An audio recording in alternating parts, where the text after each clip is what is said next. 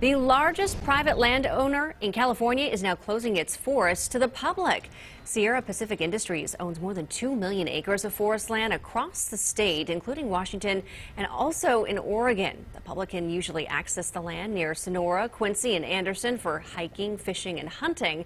But starting on July 1st, the land will be closed due to extreme drought and wildfire conditions.